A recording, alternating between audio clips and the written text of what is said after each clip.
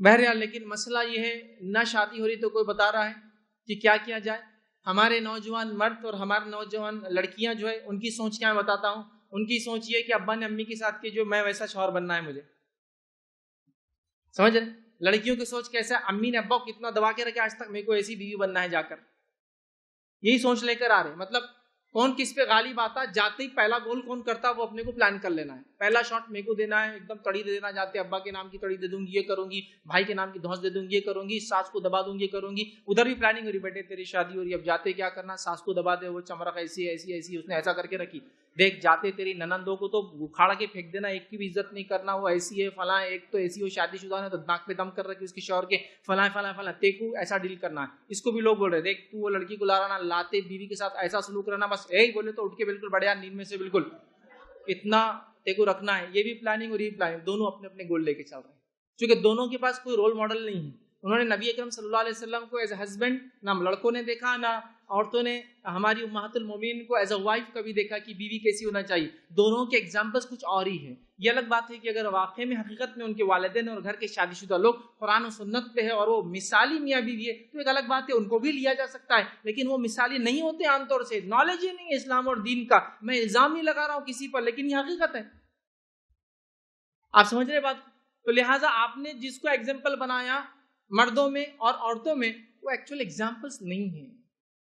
तो मिसाली माशरा कैसे बनेगा? जब मिसाली लोग जो मिल रहे हैं, वो मिसाली नहीं है एग्जाम्पलरी नहीं है तो आप कैसे सोच सकते एक बेहतरीन माशरा जिसमें सुहाबा जैसे लोग परवान चढ़े और ताबन जैसा लोग परवान चढ़े और मुहदसिन बन के निकले, वो तब तक नहीं हो सकता जब घर में आमन ना हो। और घर में आमन तब तक नहीं हो सकता जबकि दोनों को अपने अपने राइट्स एंड ड्यूटीज़ ना मालूम हो। क्या हकूक है और क्या जिम्मेदारियाँ हैं? राइट्स भी और ड्यूटीज़ भी है ना?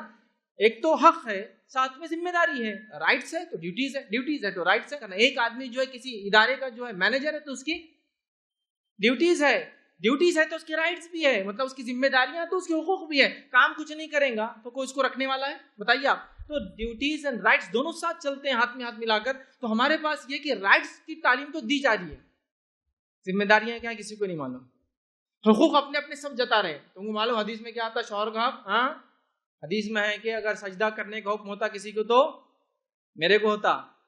मतलब बीवी को समझा रहा है ना? मतलब शौहर को होता, मेरे ही है। तो अपने हक बता रहे हैं आप। लेकिन आपकी ज़िम्मेदारी वो मुकाम आपको यूँ मिला शौहर के बारे में चूँकि वो खर्च करता है, लाता है, मेहनत करता है, मशक्कत करता है, सब कुछ कुर्बान करता है, वो ड्यूटीज़ की बुनियाद पर उसको राइट्स दिए गए और उसका हक ही बताया गया कि अगर सजदा करने का किसी को हुक्म देता, आप फरमाते दिया नहीं, देता तो बीवी को, देता कि शौहर को करे, सजदा ताजी ताजीमी लेकिन मुझे वो हक भी नहीं मिला, लेकिन होता तो इसको होता। अब टॉपिक तो हमने दे दिया, बहुत सारे लोग पहले से तय करके आए हुए बॉल किसके कोर्ट में जाने वाला है? फैज भाई ये बोले तो मैं बोलूँगा, देख क्या बोले, सुन ले अब। हाँ इधर से एक मैसेज जा रहा उधर ही बोल के आएँगे। अब मैं भी बताती, फिर जाने के बाद वो भी पॉइंट निकाल रहे हाँ। ये भी तो बोले ना साथ में। तो ऐसे राइट्स नहीं मिलते, हुकूक ऐसे नहीं मिलते यहाँ हुकूक ऐसे नहीं मिलते एक इंसान की इज़्ज़त, एक मुकाम, एक मिसाल देता हूँ, एक ऑफ़िस में आप काम करते हैं। उस ऑफ़िस में आपको इज़्ज़त और मुकाम कम मिलता है? बताइए। जब वो आदमी अपने आप को खपा देता है उस काम के अंदर उसके काम की इंटेंसिटी शौक, जौक और काम की नफासत, उसका परफेक्टनेस ऑफ़ वर्क देखकर सब गिरविदा हो जाते हैं उस एम्प्लॉय की। अभी होता ना?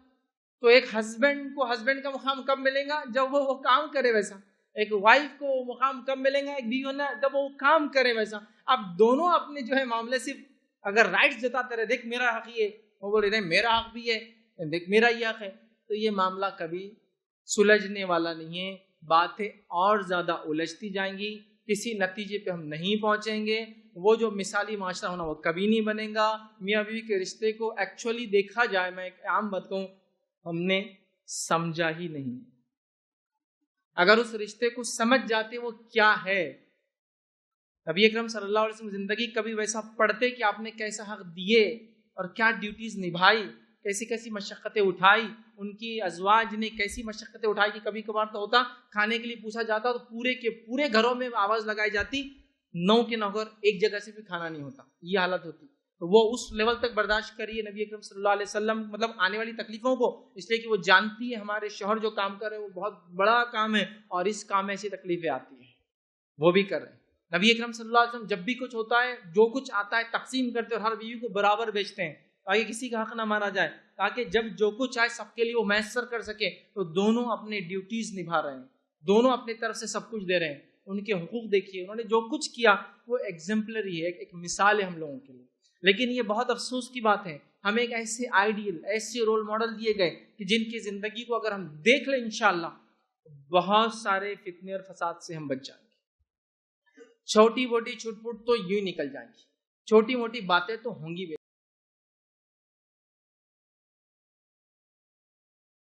वालेकुम आप भी हमारे इस काम में ताउन करें, अपनी ज़कात और के ज़रिए डोनेशन डिटेल्स के लिए डोनेट पर क्लिक करें। अगर आपको हमारे वीडियो पसंद आए हैं तो इसे शेयर करें और सबके हदार बने। रोज़ाना हमारे वीडियो को पाने के लिए हमारे यूट्यूब चैनल को सब्सक्राइब करें और बेल आइकन दबाएँ। हम सीधे सोशल मीडिया पर जुड़ने के लिए वीडियो में दिए गए आईडी को सर्च करें। जजाकल्लाह